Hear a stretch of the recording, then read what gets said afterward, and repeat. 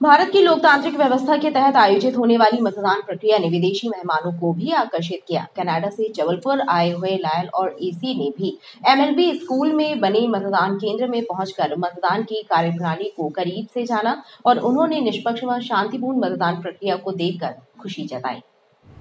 लोकतंत्र के सबसे बड़े महापर्व के तहत आयोजित लोकसभा निर्वाचन की प्रक्रिया ने विदेशी मेहमानों को भी अपनी ओर आकर्षित कर लिया।